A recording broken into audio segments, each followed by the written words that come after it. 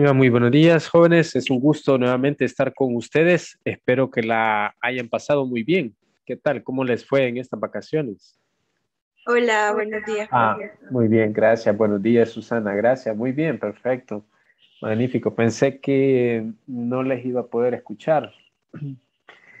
Bien, gracias. Entonces, como les decía, ah, Daniel Enrique dice que él cree que le ha ido bien pues yo esperaría que sí, ¿verdad? Que nos haya ido bien a todos, que hayamos descansado, que ustedes eh, repongan sus fuerzas para finalizar este último tramo que tienen, ya muy corto para ustedes, segundo de bachillerato, ya a unos meses de finalizar el, eh, la educación media y acercándose a la educación superior, la educación en la universidad, y a pocos meses de finalizar ah, esta experiencia de bachillerato en el colegio, ¿verdad? Muy, muy atípica, por cierto, muy, muy diferente a las eh, experiencias anteriores que se han tenido con, segundo, con los segundos años, muy diferente, pero yo creo que en la medida de lo posible, pues ustedes han hecho su,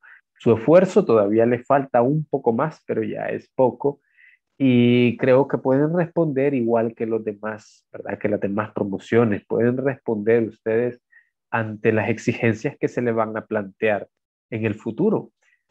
Creo que ya segundo año de bachillerato tenemos una madurez eh, diferente, mayor o superior a la que teníamos cuando estábamos en noveno, en octavo, en séptimo.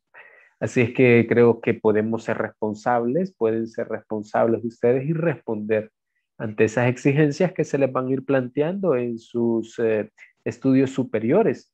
Y estamos ya a pocos meses también de comenzar ese, bueno, algunos ya los comenzaron, los procesos de inscripción en la universidad, otros eh, todavía no los han comenzado, no los han iniciado.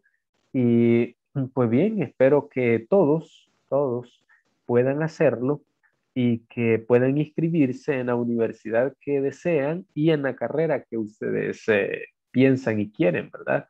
Espero que todo les salga muy bien en este fin de, del año escolar. Para ustedes es mucho más corto todavía. Así es que vamos a ir finalizando con este último contenido que vamos a ver en esta ocasión en este día. Les voy a compartir pantalla o si hay alguno que quiera compartirnos algo de lo que hizo en estas vacaciones, de lo que más le gustó, de lo que eh, más le llamó la atención. Eh, por ejemplo, en mi caso, les comparto esta experiencia muy triste, muy dolorosa. Algunos dirán, no, pero no. Bueno, uno lo siente, ¿verdad? En mi caso, hubo mis perritos, uno de mis perritos se enfermaron, se enfermó uno más que otro y pues se fue, se fue de este mundo. Y me tocó que buscar un espacio, un lugar para ver dónde se podía dejar, ¿verdad? Y hacer todo lo que se hace, ¿no? Cuando se despide a un ser querido, aunque no es una persona, pero es alguien que ha compartido con nosotros mucho tiempo, ¿verdad? Bastante tiempo estuvo conmigo quizás como unos 10 años, de 9 a 10 años, entonces es bastante tiempo y uno siente cierto tipo de cercanía. Eso es lo que más me impactó a mí durante este periodo de descanso, de, vacación, ¿verdad? Que, que tuvimos. Pero no sé, alguno de ustedes querrá compartir algo y querrá decirnos si le impactó algo o no le impactó nada, ¿verdad? Si pasamos descansando todo el día y todos los días. No sé si hay alguien que quiera hacerlo. Bueno, quizás todavía tenemos ciertos temores que tenemos que vencer en nuestra vida. Bien. Entonces vamos a, a continuar con nuestro contenido. Este es el último que vamos a ver y eh, este es el último que obviamente viene en el examen, ¿verdad? Solamente son tres, tres contenidos que vienen en el examen. Eh, en las clases anteriores estábamos viendo eh, las etapas del conflicto y también comenzamos y finalizamos, al menos pasamos más de la mitad de la película, si no me equivoco con ustedes, eh, de Detroit, acerca de esta situación conflictiva. Y cómo este conflicto, obviamente muy amplio, muy grande, que generó muchos problemas, generó muchos problemas y muchas situaciones eh, para cierto grupo de personas. Y como pudimos ver en durante la película, ahí podemos eh, ir desarrollando cada una de las etapas que mencionábamos nosotros que tienen los conflictos por oposición o incompatibilidad, el hecho de reconocer que estamos en una situación conflictiva, las intenciones que las personas tienen y le van a, atribuyendo a otras, eh, el comportamiento que nosotros tenemos, el hecho de las acciones, de las reacciones que se dan durante la película y podemos identificar si este fue un conflicto funcional o un conflicto disfuncional y los resultados. Si los conflictos son disfuncionales, obviamente los resultados serán negativos y si los conflictos son funcionales, entonces los resultados van a ser eh, positivos porque nos van a ayudar a desarrollarnos a nosotros, a crecer, a crecer. Eso es lo que hace un conflicto funcional, nos ayuda a desarrollar. Un conflicto disfuncional, en este caso, no nos ayuda a desarrollarnos, sino que nos crea mayores dificultades u otros problemas, ¿verdad? Así es que tenemos que tener presente muy bien eso y si no la terminaron de ver o no la vieron, entonces búsquenla, se llama Detroit la película y, y véanla. Y no sé si vieron la otra que les recomendé que se llama Amistad, sobre la esclavitud. También es otra película muy interesante que nos puede ayudar a comprender esa parte de las situaciones conflictivas en las personas. Bien, entonces vamos a, a hablar sobre la resolución de problemas y la mediación de conflictos. Si uh, de forma rápida vamos a tratar de, de, desarrollar esta parte, la resolución de problemas y la mediación de conflictos.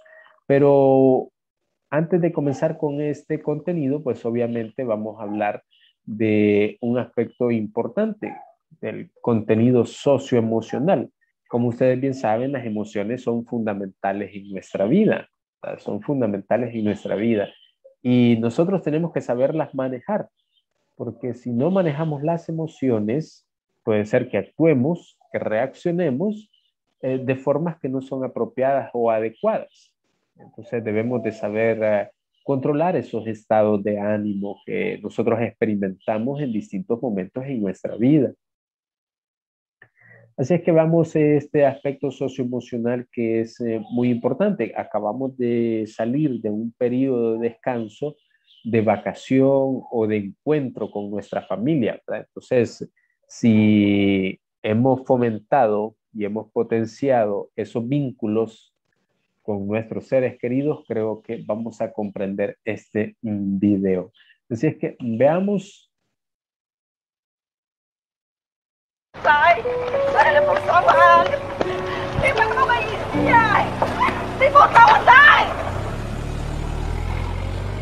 How easy it is for us to forget what it was like.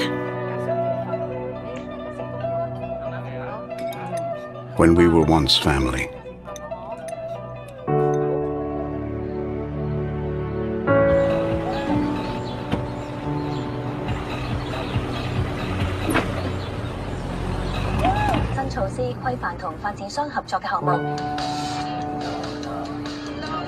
The times we shared.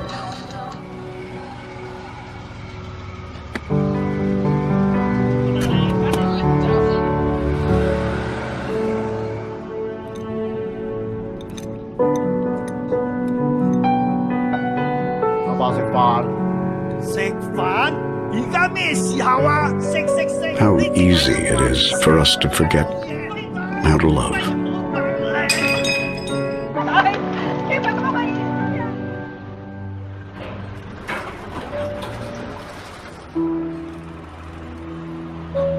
爸，阿爸，食饭啦！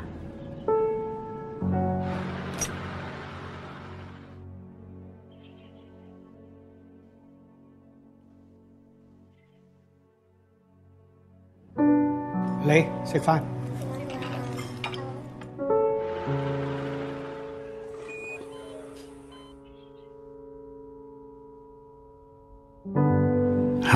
Easy it is for us to forget how to smile.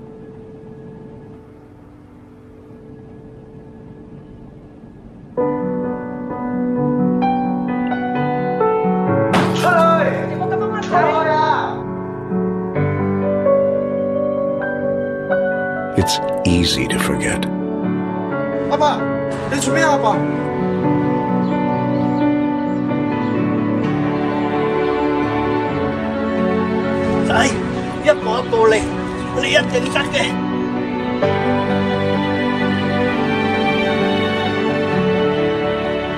But it's even harder not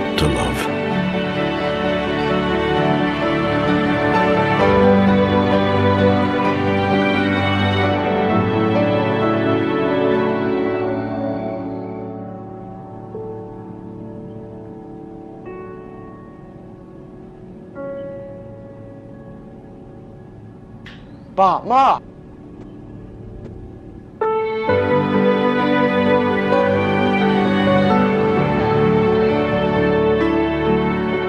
阿爸阿妈食饭。 仔食饭。 Bien, este es el eh, video, es sobre la relación familiar, ¿verdad? Sobre la convivencia familiar, sobre esos vínculos que nosotros mantenemos con nuestros eh, familiares, con nuestros seres queridos, con nuestros seres cercanos. Eh, Este es el video que quería compartir con ustedes.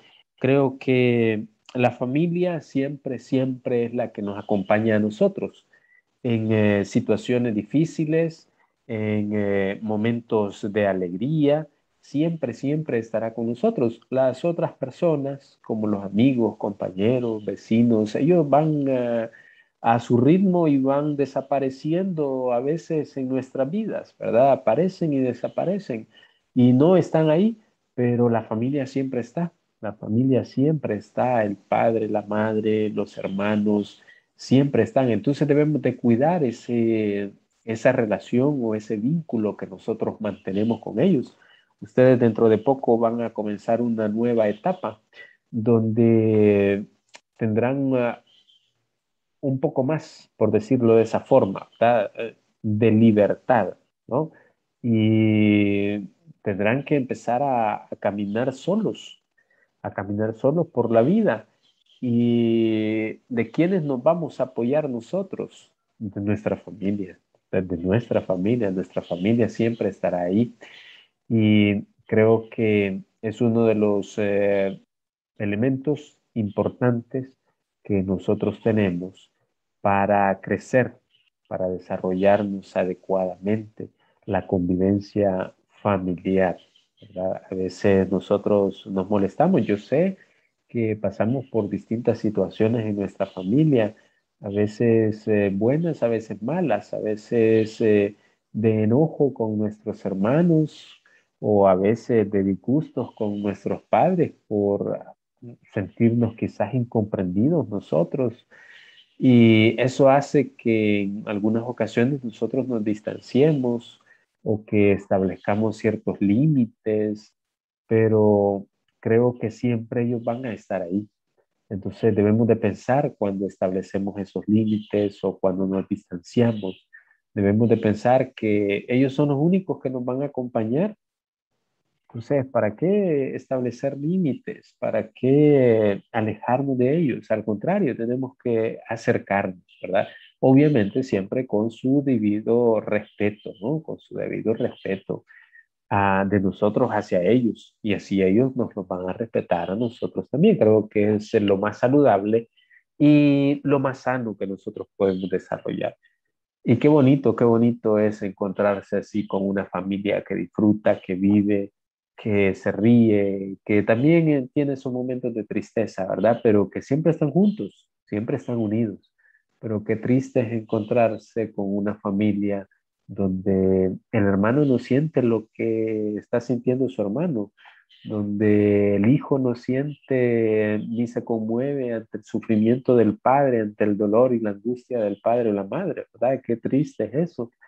Ustedes creo que tienen una gran oportunidad si tienen, eh, si están junto a sus padres o si tienen a sus padres, a sus hermanos, de encontrarse, de dedicarles tiempo, de sentirse cercanos, ¿verdad? De mostrarles cariño y también de mostrarles respeto. Creo que es importante para nosotros, para todos nosotros. Pues bien, ese es el aspecto socioemocional o el contenido socioemocional. No sé si alguien eh, quisiera también compartir algo, lo puede hacer en este momento a través del chat o a través de su micrófono, ¿verdad? Pueden activarlo y pueden compartir. A mí me parece esto, me parece lo otro, no sé. Ustedes dirán, no sé si alguien quiere hacerlo en este momento.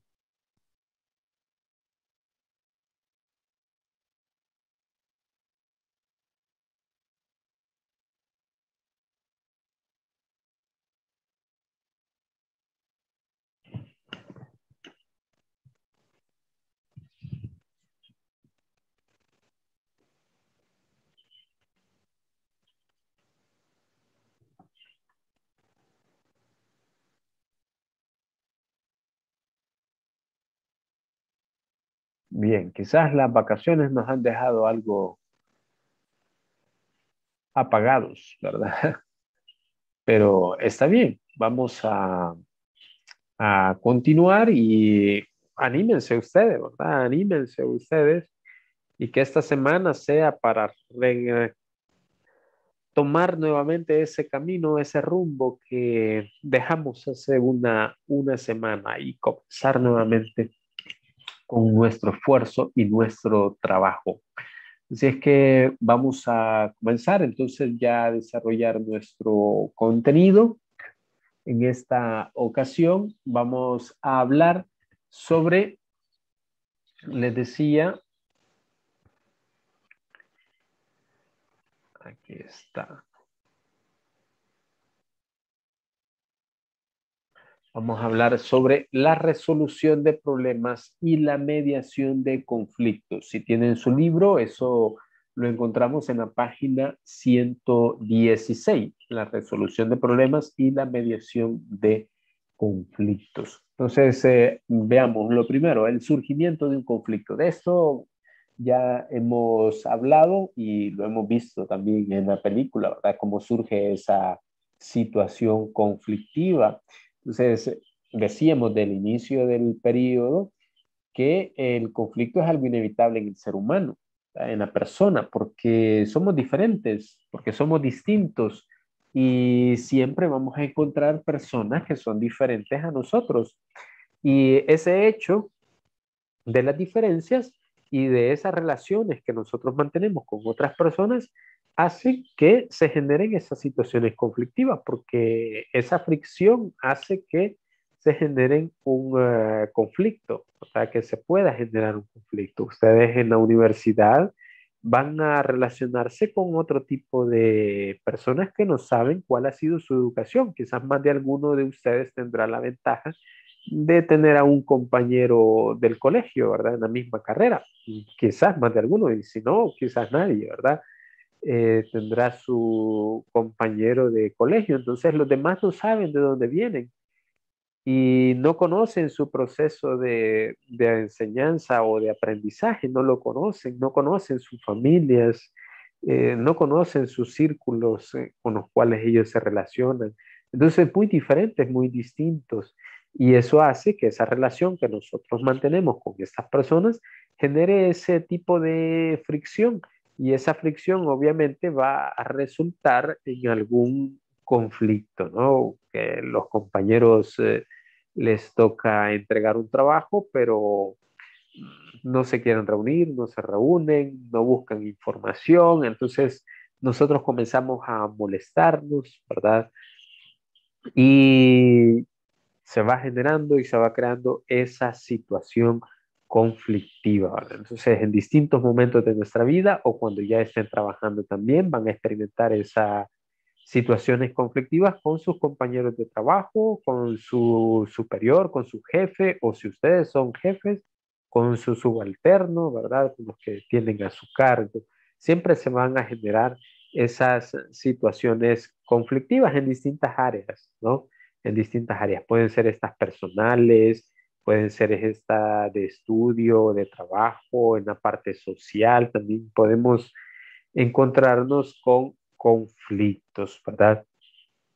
Entonces, eh, podemos decir, aquí lo tenemos en el segundo párrafo de nuestro libro, ya que el conflicto es una parte inherente en las relaciones humanas, todas las personas deben optar actitudes. Eso es lo que nosotros tenemos que hacer. Si esto es algo que tenemos, que vamos a, a experimentar siempre por medio de esas relaciones, o sea, no siempre le vamos a caer bien a todos. Va o habrá alguien que siempre no estará de acuerdo con nosotros, no les caeremos totalmente bien, ¿no? Entonces, ¿qué es lo que debemos de hacer? Adoptar actitudes, actitudes que favorezcan su resolución en las situaciones conflictivas. Sin embargo, es normal sentirse confundido, enojado o hasta desorientado acerca de los sentimientos y las conductas inmersas en una discusión cuando enfrentamos una situación conflictiva. Entonces aquí se nos proponen ciertas actitudes, algunas conductas y sentimientos que se identifican en un conflicto pueden ser incompatibilidad, ya lo mencionábamos, ¿verdad? El enfado, un tipo de emoción también, la tensión, la rivalidad, la intolerancia, los insultos, el hecho de tener una moral baja y la frustración son eh, ciertas ah, conductas que nosotros a veces experimentamos. Y por eso debemos de tener ah, mucho cuidado, mucha precaución, cómo enfrentamos esa situación conflictiva, en la forma en que nosotros la enfrentamos. Porque si no, como les decía al inicio, puede ser que este conflicto nos ayude o puede ser que este conflicto nos destruya, ¿verdad? Un conflicto funcional o un conflicto disfuncional. Y de la forma como nosotros enfrentemos ese conflicto, me refiero a las emociones, a los sentimientos que tenemos, también así nosotros podemos eh, enfrentar esas, eh, de forma positiva, esas situaciones, ¿verdad? Entonces, veamos, ¿cuáles son eh, los orígenes más comunes de estas eh, situaciones conflictivas? Pues bueno, primero los intereses. son algo que siempre estará ahí presente. Por los intereses siempre habrán situaciones conflictivas, porque los intereses a veces no son los mismos. Hoy podemos ver en el país se encuentra prácticamente dividido. Muchas personas tienen intereses diferentes y aquí estamos hablando de aspectos sociales, aspectos políticos, aspectos económicos, los intereses. Y hay una lucha de poderes en este momento en el país. Hay una lucha de poderes que se está generando, que se está dando partiendo desde los intereses. Y también esto lo podemos experimentar en eh, la familia, en el lugar donde nosotros nos encontramos, tenemos distintos intereses distintos intereses y estos generan conflictos, generan situaciones conflictivas. Eh, luego tenemos la comunicación. La falta de comunicación, como lo veíamos también anteriormente, es eh, uno de los orígenes más comunes que nosotros encontramos. ¿Esto qué quiere decir? Que tenemos que mejorar nuestra comunicación. A veces no hay comunicación entre nosotros. No hay comunicación y eso hace que se generen situaciones conflictivas. Entonces debemos de mejorar nuestra comunicación y no solamente comunicarnos, sino que ese proceso comunicativo que nosotros tenemos o desarrollamos sea correcto, sea adecuado. Si nosotros no utilizamos palabras adecuadas, el proceso comunicativo obviamente se va a ver afectado porque la otra persona puede comprender con esas palabras que estamos utilizando que le estamos insultando, que le estamos diciendo otras cosas. Y eso hará que el conflicto se haga mucho más grande. ¿verdad? Entonces, la importancia de comunicarnos correctamente, de comunicarnos adecuadamente y de utilizar adecuadamente este proceso comunicativo. Estamos hablando de el emisor, el receptor, el mensaje, el canal, el código. Esto ustedes ya lo conocen, ya lo saben, ¿verdad? Ya no tenemos que estarlo explicando. Ya ustedes lo conocen, ya saben quién es el emisor, quién es el receptor, cómo se transmite un mensaje, cuál es el canal que se utiliza y cuál es el código también que nosotros estamos utilizando. Eso va a favorecer, eso va a ayudar a mantener una adecuada comunicación, una adecuada comunicación. Cuando nos comunicamos con nuestros padres, cuando nos comunicamos con otras personas, es necesario que nosotros utilicemos adecuadamente, correctamente este proceso comunicativo. Aquí recordarles que decíamos que para tener una comunicación ah, adecuada o eficaz, eh, correcta, necesitamos utilizar las palabras adecuadas, el tono emocional correcto, eh, también necesitamos eh, decirlo en el momento oportuno y a la persona indicada. Esto lo veíamos también el año pasado. Cuatro cositas sencillas para mantener una buena comunicación. Y a veces nosotros vamos en el autobús, nosotros vamos por la acera, por la calle, y nosotros vemos o escuchamos a las personas, a una pareja que va discutiendo, que va diciéndose un montón de cosas, y increíble, ese no es el momento adecuado para mantener una, una conversación, un diálogo, una discusión. No es el momento adecuado. Hay que utilizar el momento adecuado, las palabras oportunas y el tono emocional correcto para que esa, ese conflicto o esa situación conflictiva eh, no se haga mucho mayor, no se haga más grande, ¿verdad? Luego tenemos también, aparte de la comunicación y los intereses, el irrespeto a la autonomía. Ese también es una de las causas más comunes por las cuales se generan las situaciones conflictivas, ¿verdad? El irrespetar la autonomía. Y esto es muy importante porque esto lo, bueno, lo veíamos el año, el año periodo pasado en cuanto a, la, a las relaciones de amistad y de noviazgo, que en el primer periodo, perdón, este, que el hecho del respeto a la individualidad de la otra persona es, fundamental, es fundamental. O sea, aquí también el respeto a la autonomía, el hecho de que yo sea libre, también el otro tiene su libertad y tengo que respetar, tengo que respetar esa, esa libertad que él posee, esa toma de decisión que él está haciendo, tengo que respetarlo. Y aquí a veces nosotros no comprendemos esta parte, ya en las relaciones cercanas o que nosotros mantenemos constantemente, a veces no las comprendemos y a veces irrespetamos la autonomía que tiene la otra persona, ¿verdad? Entonces ahí debemos de tener cuidado porque es una de las causas donde eh, se generan más esas situaciones eh, conflictivas, ¿verdad? Entonces tenemos esas tres eh, causas más comunes. El hecho de los intereses, esos intereses que pueden ser eh, propios o, esos intereses que también están en oposición con los de otras personas o otros grupos.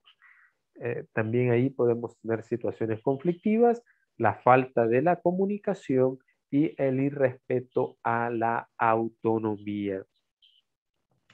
Eh, luego tenemos cuáles son esas consecuencias de los eh, conflictos. Obviamente hay una pérdida de valores ante una situación conflictiva. Si nosotros no lo trabajamos adecuadamente, hay una pérdida de valores.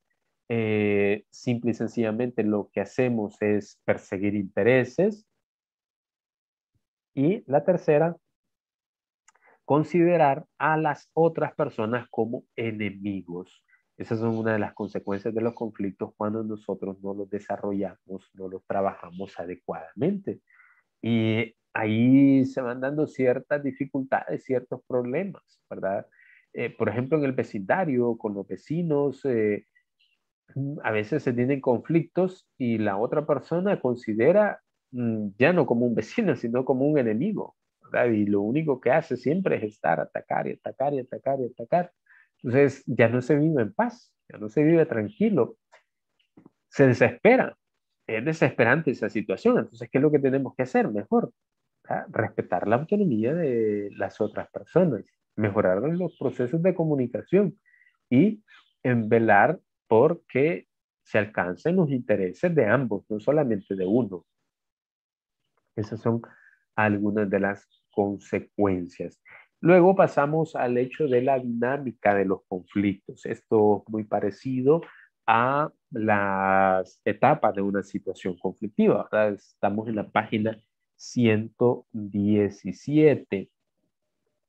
Y decíamos que los conflictos son funcionales, hay conflictos funcionales y conflictos disfuncionales. Los conflictos que normalmente nosotros conocemos como conflictos eh, positivos y conflictos negativos, los disfuncionales. Bien, entonces luego tenemos que los conflictos pueden entenderse como la oposición de necesidades, opiniones, deseos y valores entre las partes que buscan alcanzar un objetivo que no es compartido. El desacuerdo puede ocurrir en cualquier dinámica grupal y afecta a los implicados en diversas, de diversas maneras. Cuando un conflicto puede tornarse positivo o negativo, bueno, se puede tornar positivo cuando el problema ayuda a las partes involucradas y negativo cuando las partes involucradas obviamente se centran más en la competencia, se centran más en la competencia.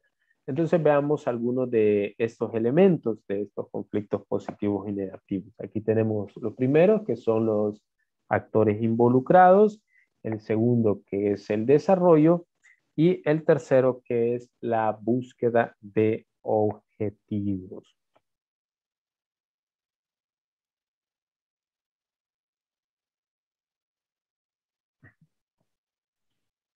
Pero de qué forma o de qué manera nosotros nos enfrentamos a esas situaciones conflictivas, sean estos positivos o sean estos negativos. Acuérdense que muchos conflictos van a surgir por ah, aspectos individuales, como veíamos en la primera etapa, por oposición o incompatibilidad hacíamos referencia a la comunicación, a las variables personales o a la estructura. Entonces muchos conflictos van a surgir por diferentes eh, factores. Pueden ser estos individuales o podrían ser estos eh, grupales, cuando se refiere al hecho de la estructura. Entonces, ¿cómo enfrentamos nosotros esa situación conflictiva? Y esto va a depender también de nuestros estados de ánimo. Por eso las emociones son importantes y son fundamentales, porque dependiendo de nuestras emociones, así nosotros en muchas ocasiones enfrentamos los conflictos y reaccionamos ante esas situaciones conflictivas. Entonces veamos algunas maneras de enfrentarse a los conflictos. Aquí eh, se nos presentan ah, algunas, como por ejemplo la pasividad es una de las formas de enfrentarse a los conflictos. Es una respuesta rápida a un problema, pero no es la manera más efectiva. Con, con, con esta actitud aceptamos lo que la otra persona nos impone y no expresamos nuestras opiniones. Esta es una de las formas de enfrentar los conflictos. Obviamente no es la adecuada, ¿no? Porque no expresamos lo que nosotros eh, sentimos, lo que nosotros pensamos, sino que simple y sencillamente lo estamos aceptando de una forma pasiva. Eh, la segunda es la agresividad. es una manera de imponer las ideas y respetando la opinión de los demás. Y esta es otra reacción que nosotros a veces tenemos ante una situación conflictiva. Enfrentamos ese conflicto de forma agresiva cuando nos dicen algo. Eh, cuando nuestros padres nos dan uh, una indicación o nos, o nos dan una regla, una norma que tenemos que cumplir, a veces nosotros, ¿cómo reaccionamos ante esa situación? De forma pasiva, de forma agresiva o de forma asertiva. Si actuamos de forma agresiva, entonces vamos y tiramos las cosas, rompemos algo que nosotros tenemos ahí enfrente. Eh, nuestro estado de ánimo, ¿qué es lo que experimentamos? Experimentamos eh, ira, enfado, enojo, furia. Estamos expresando eso, la agresividad. Entonces, chicos, hay que tener mucho cuidado, ¿verdad? Con la forma en las cuales nosotros enfrentamos esa situación conflictiva. Y la última, que es la más adecuada, la indicada con la que nosotros deberíamos de responder ante esa situación conflictiva, que es la manera en la que expresamos nuestras ideas, sentimientos y opiniones sin ofender a los demás, considerando que qué es lo que tienen que decir. Así se respetan sus derechos. Esta es la forma en la cual nosotros deberíamos de reaccionar ante una situación de conflicto de forma asertiva, de forma asertiva. Esto hay que tenerlo siempre presente. Cuando nosotros enfrentamos un conflicto, entonces no tengamos miedo de expresar lo que sentimos y de expresar también lo que no sentimos. Tenemos que hacerlo. Eh, obviamente sabiendo controlar nuestras emociones. Si nos dicen algo, bueno, entonces sí, miren, yo me siento molesto por esto y esto y esto. Y, y ya, ¿verdad? Y no hay necesidad de mostrar esa inconformidad o esa molestia insultando, gritando o tirando las cosas, ¿no? ¿Verdad? Para nada. Podemos actuar de forma asertiva, enfrentarnos a los conflictos de forma asertiva.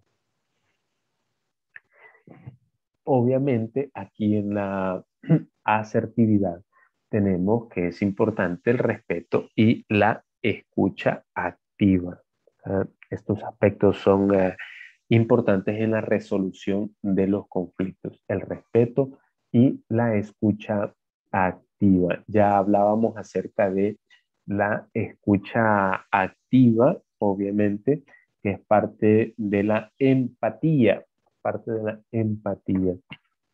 Y para finalizar, tenemos estos estilos eh, personales para abordar los conflictos, para abordar estas situaciones conflictivas. Eh, el conflicto debe ser afrontado de manera razonable. Ah, obviamente nosotros tenemos esa capacidad, los seres humanos. Ustedes tienen mayor capacidad que un niño de 8 años que de siete años tienen mayor capacidad. Incluso ustedes mismos tienen mayor capacidad ahora que la que tenían hace dos años. Mayor capacidad, estamos hablando de razonamiento. De razonamiento. Entonces nosotros, podemos reflexionar, podemos pensar. Si se recuerdan, cuando estaban en noveno, los que estábamos en noveno, hace dos años, hablábamos sobre el desarrollo de la capacidad moral. Y decíamos que en la teoría de Colbert, de Lawrence Colbert, ese desarrollo de la capacidad moral se va dando por distintas fases, por distintos niveles, nivel preconvencional, nivel convencional y nivel postconvencional. Entonces la etapa razonable es la que nos hace a nosotros pensar y reflexionar sobre si eso es bueno o no es bueno. Estamos hablando de el momento en el cual nosotros nos enfrentamos ya a situaciones mucho mayores, ¿está? justicia de valores, por ejemplo, de valores universales o la etapa comúnmente conocida como la de la ética universal, que está de la etapa de los 14 años en adelante. Esa es la que ustedes deberían de encontrarse. Entonces, eh, este aspecto de la razón, de la reflexión es eh, importante, es decir, eh, sin que las emociones y los pensamientos negativos opaquen un buen razonamiento del problema.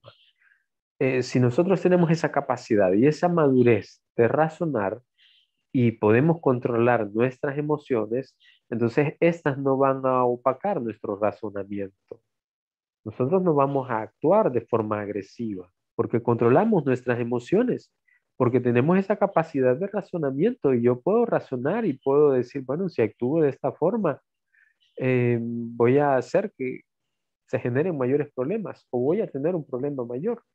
Entonces, no me conviene, no tengo que reaccionar de esta forma. Yo puedo razonar. Es importante afrontar los conflictos desde una perspectiva positiva en donde además de ser una oportunidad para aprender, también se convierta en un desafío a nuestras emociones y estructuras de pensamiento. Una persona con pensamiento rígido es la segunda que nosotros encontramos ahí. Eh, una persona con pensamiento rígido difícilmente aprende de las nuevas experiencias no aprendemos, pasamos muchas experiencias y no aprendemos porque tenemos un pensamiento rígido, ¿verdad? No brinda lo mejor de sí por medio, por miedo al fracaso. Y además cree que nunca puede fallar o equivocarse, lo cual le restringe aprender de los conflictos. Eh, creo que en alguna situación, en algún momento de nuestra vida, nosotros nos hemos encontrado con algunas personas así, ¿verdad? Que consideran que no se equivocan, que no fallan. Entonces, esto les impide aprender de esos errores, les impide aprender de esos eh, conflictos en los cuales están enfrentando, porque ellos siempre tienen la razón y nunca dan, como decimos en el común, ¿verdad? Nunca dan su brazo a torcer. Por eso. Y el conflicto quizás no lo resuelven y lo van haciendo cada vez más grande y se va complicando cada vez más, ¿verdad? Por otra parte, una persona con pensamiento flexible aprende de sí misma y de los demás, sabe aceptar sus equivocaciones y las capitaliza e intenta comprender el punto de vista de las otras personas. Entonces, si nosotros tenemos un pensamiento crítico, este, rígido, vayamos pasándonos a un pensamiento más, más flexible, porque si no vamos a tener dificultades, ¿verdad? Y es más favorable un pensamiento flexible que un pensamiento rígido. Y para aprender a solucionar los problemas, es importante intentar. Cuatro cosas debemos de intentar mantener la mente abierta, un pensamiento flexible. A muchas eh, posibilidades, a muchas alternativas para solucionar ese problema. Debemos de tener una mente siempre abierta. Segundo, aceptar que cometer errores es parte de nuestro aprendizaje. Nosotros tenemos que aceptar que cometemos errores. Nadie es perfecto, nadie es absoluto en, la vida siempre necesitamos de otros y siempre cometemos errores, siempre, algunos pequeños, otros grandes, pero tenemos que aprender que podemos cometerlos en algún momento de nuestra vida. Si no los hemos cometido hasta ahora, pues va a llegar un momento en el que los vamos a cometer y tenemos que aprender de ellos. Entonces, aceptar que nosotros cometemos errores. La tercera es alejarse de manera momentánea del problema para visualizar de diferentes maneras otras opciones de solución. Entonces tenemos que aprender eso. También a alejarnos un poco de esa situación para ver de forma más amplia cómo podemos solucionar ese problema. Porque si siempre estamos inmersos ahí, no salimos de esa situación, entonces difícilmente vamos a encontrar una alternativa. Tenemos que salirnos del problema, del conflicto, para ver de forma más completa, más amplia esa situación y así encontrarle una solución. Y la última que es mantener disposición y confianza en alcanzar los propios objetivos. Esto implica obviamente una confianza, una seguridad que nosotros tenemos en lo que hacemos, en lo que pensamos, en lo que decimos, ¿verdad? Tengo que confiar en eso que yo creo, en eso que estoy buscando y que quiero alcanzar. Yo quiero ser ingeniero, pero no, me tengo confianza de que lo voy a alcanzar, entonces difícilmente lo voy a hacer, ¿verdad? Eh, tengo que tenerme confianza de que lo voy a lograr, de que lo voy a hacer. Si yo me tengo confianza que en este periodo que viene voy a aumentar mi, mi porcentaje en las calificaciones, lo voy a hacer, porque me tengo confianza y sé que lo puedo hacer, porque mi objetivo es conseguir una beca y me falta cierto porcentaje en mi promedio final para que me den la beca. Yo creo que la mayoría de ustedes ya está visualizando en dónde estudiar, qué carrera estudiar, si estudian en el país o si estudian fuera del país por medio de una beca y cuáles son los requisitos que les están pidiendo, ¿verdad? Nota mínima de las asignaturas o del porcentaje final de toda la sumatoria de todas las asignaturas debe de ser, eh, por ejemplo, 8.5, al 85%, para que se le pueda aprobar la beca y nosotros apenas vamos por el 80, por el 81, ah, entonces tengo que esforzarme, tengo que esforzarme. ¿Me tengo confianza? Sí, ¿lo voy a lograr? Claro que sí, lo voy a lograr. Entonces trabajo por eso. Disposición y confianza. Es importante tenerlo en cuenta a la hora de enfrentar las situaciones conflictivas o los problemas. Bien, hasta aquí hemos llegado, hasta aquí vamos a finalizar, hasta aquí viene el examen. Espero que les salga muy bien a ustedes lo que se están eh, proponiendo, lo que se plantean. Si alguno de ustedes tiene dificultades, no duden en enviarme un mensaje. Yo les soy sincero, en esta semana no revisé el, eh, el número, el WhatsApp de si alguno me escribió, le voy a responder hasta ahora, ¿verdad? Si me escribió durante la semana, se lo voy a responder hasta ahora. Y pues si tienen alguna duda, pueden hacérmela, pueden decírmela, yo con gusto se las voy a responder. Si hay alguno todavía que no ha realizado la evaluación de la obra, pues díganme, comuníquense conmigo y lo hacemos, ¿verdad? Para que no tengan dificultades. Así es que jóvenes, ya es horas, tenemos las 9.29 a un minuto de finalizar la clase. Si no hay dudas, preguntas que ustedes tengan en este momento.